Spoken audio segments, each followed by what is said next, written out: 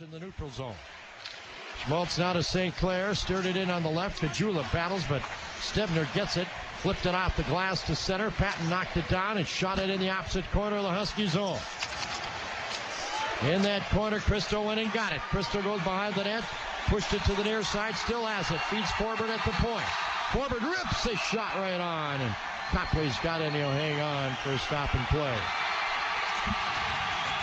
It's a 5 0 North Dakota lead, and we'll tell you what the roar here at the Ralph is about when we come back after this on the UND Hockey Network. State Farm, this is Kristen. Wow, it's 3 a.m. You guys really are always there for me 24 7. That's like better than my mother. Better than who? Uh, Mom, get off the phone. Where was this person when you needed your diapers changed? Huh? Uh, maybe I should go. No, Kristen, please stay. Mom, please get off the phone. Or when you needed to be tucked in. Well, the roar you still hear from the crowd here at the Ralph is senior Tate Maris gets into his first game, regular season game ever. The senior from Denver, Colorado, in goal for North Dakota.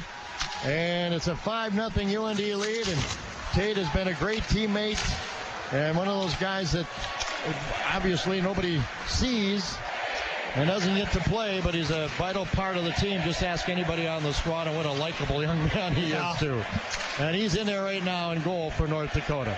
It's kind of like that movie Rudy Yeah. came out. It almost is. And I think the fans sensed, saw Coach Hacksaw go tell him to get his gear on. Yeah, they did. They were kind of standing Yeah. up already.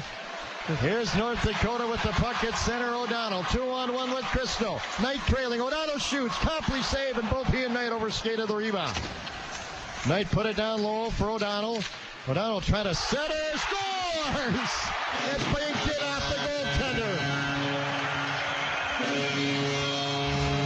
O'Donnell's second goal of the season, and it's a 6 0 North Dakota lead. Well, he couldn't score on the three opportunities he had from the front of the goalie, so I figured he wanted to just change his angle a little bit. And he banks it off him as the other three shots.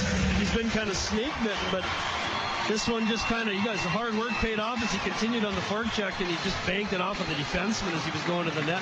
Well, now he's got a shot on goal anyway, so Yeah. everybody in the team has at least one. I think that one might have hit either uh, Sova or Kara as they were trying to go behind the net to pick up the puck.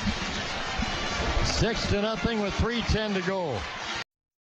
Players work it free in the corner, or trying to work it free. Finally, Schmaltz pulled it through to Forbort. Forbort headman up the middle to Gaarder. Gaarder to the tech line, try to feed it to Mark MacMillan. It's blocked, and here comes Chad Pietila back to the North Dakota line. Shoots from long range. Murray stops it and covers and hangs on and gets a standing O from the students here at the Ralph.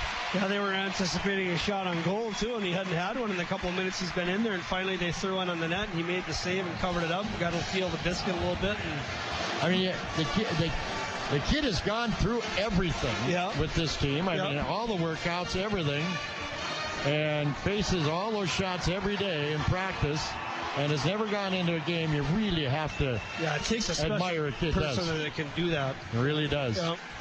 And he's getting a little chance here.